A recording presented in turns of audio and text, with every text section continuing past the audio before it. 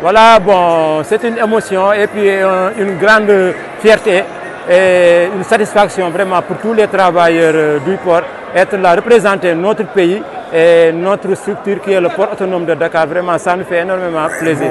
Et nous comptons aussi aller hisser notre drapeau national le plus haut possible. Euh, nous sommes là depuis trois jours, l'équipe est prête, vraiment le mental il est là, il est bon. Nous sommes prêts vraiment à affronter nos adversaires.